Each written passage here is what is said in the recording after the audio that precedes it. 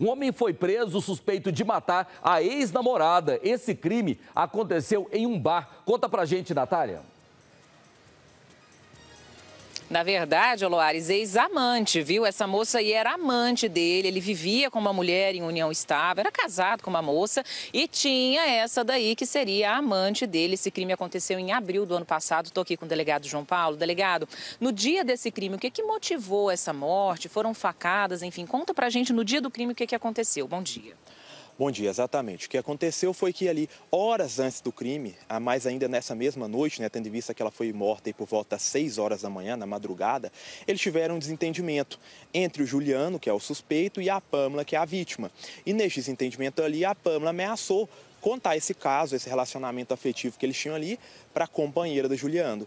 E aí acabou que em razão dessa ameaça ali que ela proferiu, né, de acabar delatando o Juliano, ela foi para um bar, ficou ali naquele bar ali, comemorando com as amigas, e ele chega lá por volta das 6 horas, pede para que uma amiga em comum, é, uma conhecida do casal, chame ela, ela vai ao encontro dele num lugar mais afastado, onde era longe da visão das outras testemunhas e também da câmera de segurança, e ele desfere 11 golpes de faca. Ele dá um abraço nela inicialmente e na sequência já começa a proferir os golpes, desferiu 11 golpes de faca nela, ela cai e vê a óbito no local.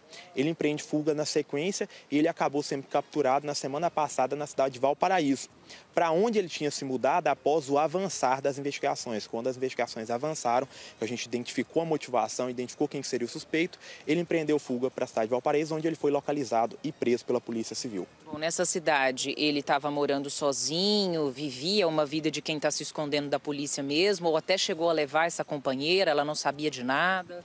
Aparentemente, a companheira dele não sabia dessa vida também. É, suspeitava que ele tivesse envolvimento com tráfico de drogas, o que consta nos autos que ele tinha sim envolvimento com tráfico, mas quanto a essa relação extraconjugal, ela não tinha conhecimento, não sabia. E após o crime, eles resolveram se mudar para Valparaíso para lá iniciar uma nova vida. Longe dessas, dessa, da região ali oeste, que é o bairro Vera Cruz, onde eles viviam, onde ele tinha envolvimento com tráfico de drogas, onde ele já foi preso, inclusive, também por tráfico de drogas, por crimes patrimoniais.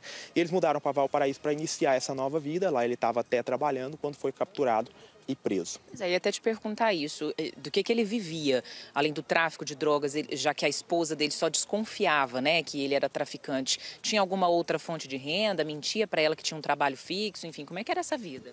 O que nós apuramos é quando nós localizamos ele na cidade de Valparaíso, ele estava sim trabalhando como pedreiro numa, numas obras de um condomínio lá na cidade de Valparaíso, então realmente lá ele estava trabalhando.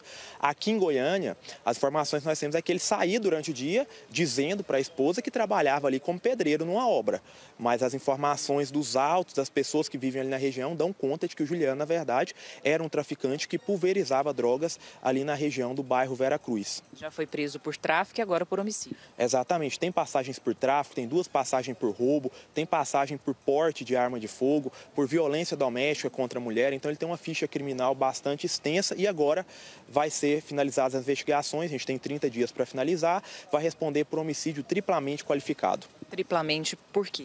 Pelo feminicídio, né, contra a mulher em razão da condição do sexo feminino aí, numa, numa relação afetiva que eles nutriam, pela motivação torpe e também pelo meio cruel, tendo em vista que ele desferiu 11 golpes de faca nessa vítima. Excelente, obrigada, delegado, pelas informações. O cara quer levar uma vida, Loares, que não depois não dá conta de sustentar.